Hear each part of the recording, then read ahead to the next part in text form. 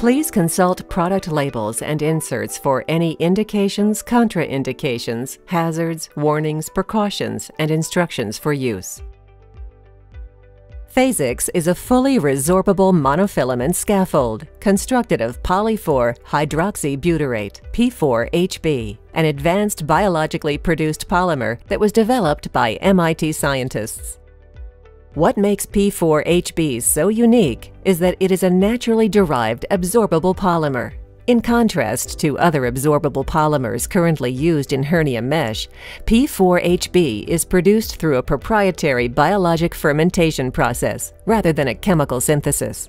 These P4HB polymers are produced in nature inside cells as storage granules and regulate energy metabolism,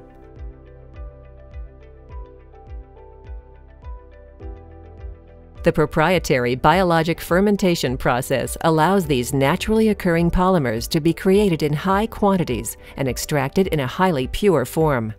Once extracted, the polymer is purified, milled, melted, extruded, and knitted into a structure, serving as a scaffold for tissue ingrowth. The strong but flexible properties of P4HB allow for a monofilament knit structure, Preclinical studies have demonstrated that this structure provides a scaffold that enables remodeling to the host tissue over time. Similar to polypropylene mesh, the open porous monofilament structure allows host cells to quickly incorporate the scaffold into surrounding tissue once the Phasix scaffold is implanted.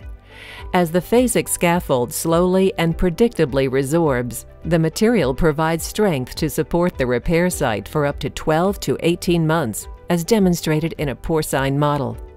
As resorption of the Phasix scaffold occurs over time, the monofilament resorbs from the surface to the core of each fiber.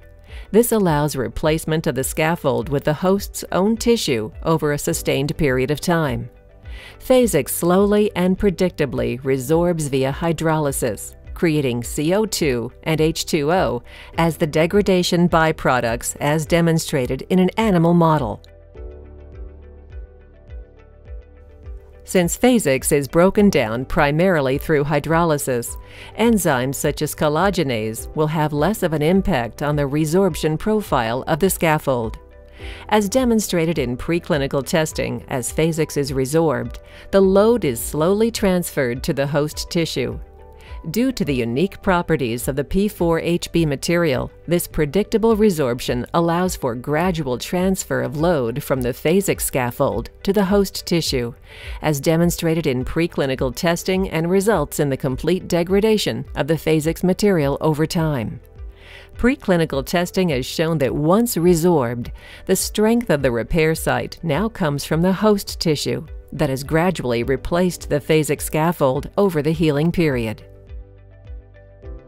The combination of a naturally occurring polymer, degradation via hydrolysis, and slow, predictable degradation, which is important for constructive and functional tissue remodeling.